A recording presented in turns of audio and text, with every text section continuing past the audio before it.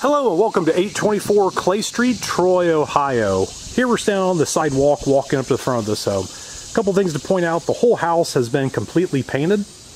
Um, the garage as well, we have an oversized one car garage that you can't see from here. I'll show you once we finish up the front here. But it's been painted as well, it's all cinder block. It's a one car, but it's a big, big one car. Front porch here, this has been recently painted as well, and a huge front porch. It's all covered and we do have a back porch as well and a patio off of the garage. We have three doors that we can go in here. This door is not really in use um, because this is a bedroom, but this door takes us into the living room. This door takes us into the dining room. We're gonna go through this door and start our video, but before we do go inside, we're gonna go check out this huge backyard. I'll meet you out back. All right, so here I'm in the backyard, kind of in the back alley here. We have an alley here where you can get to the garage. As you can see, this is definitely an oversized garage, really maybe the size of a small two-car garage. Uh, we're gonna call it an oversized one-car garage, and that's all cinder block construction, very beefy.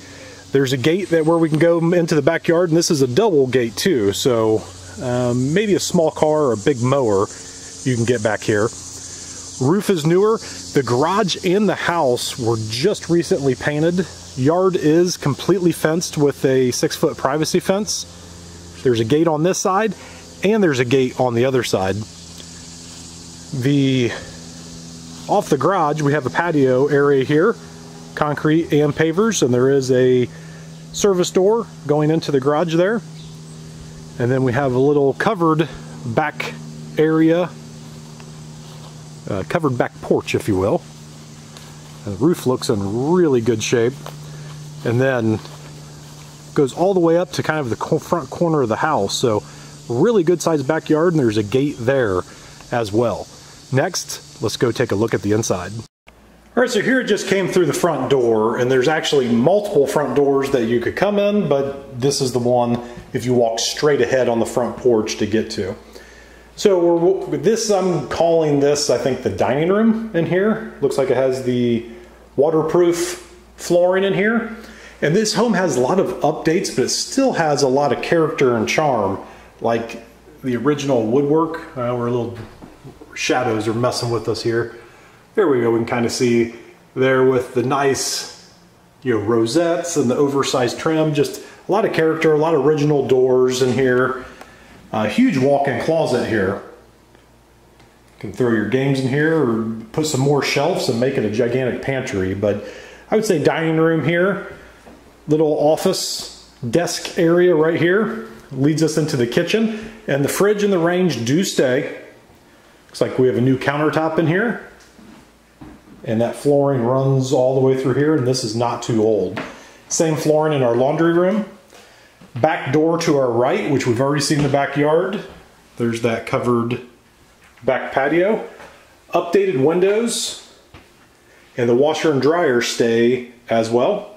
Plenty of shelf space to put your detergents. And if you wanted to throw cabinets up there, there's plenty of space to do that as well. Updated window in the kitchen as well.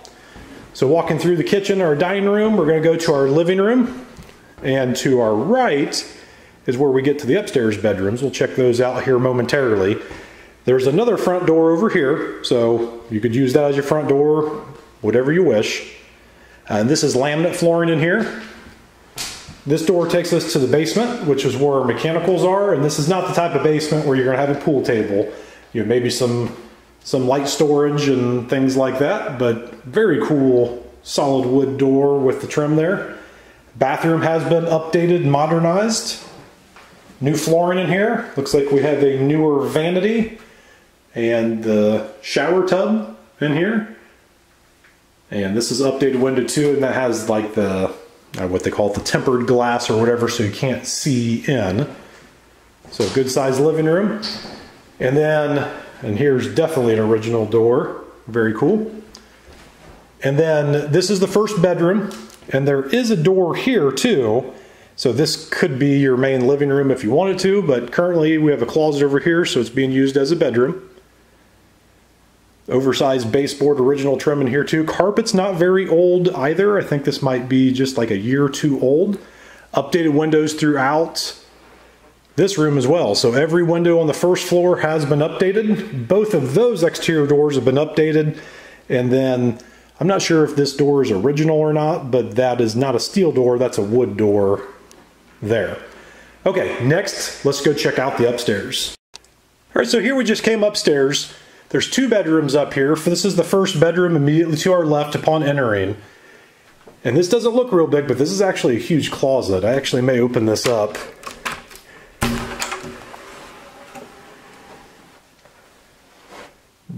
Way bigger than it looks, and I have no idea what's beyond there. There's a lock on there. I don't have the code for that, but I'm guessing probably just attic access and storage in there would be my guess. Carpet looks to be in really good shape up here. Paint, everything looks good. Hallway window is newer, and so is that bedroom one. And then this would be our third bedroom, and this is a huge bedroom here. Claws over here to the left, three windows, and all three of these windows in this room have been updated. This window here overlooks the front, so that's the street right there. And the house does have central air conditioning. Window unit, probably just supplemental, kind of like a zone control here. And then our closet here with a hanging rack all the way over. So it does go from there all the way over to there. So that's the second floor. Next, I'll meet you on the first floor for a few closing statements. So thanks for watching our video. If you have any questions about this home or if you'd like to see it in person, feel free to give me a call or give your realtor a call. I'm sure they would be happy to show this fine home to you. A house like this in Troy, that truly this is pretty much move-in condition here. I don't see much, if anything, that needs to be done other than, you know, maybe you want to change a paint color for a bedroom for your taste or a kid or something, but this place is squared away. You can move right into it. And at this price, this will surely move quickly. So don't hesitate. Come take a look at this today. Um, it's vacant, so you can get moved in right away on this home. And just trying to give you a final look at the first floor before we sign off here.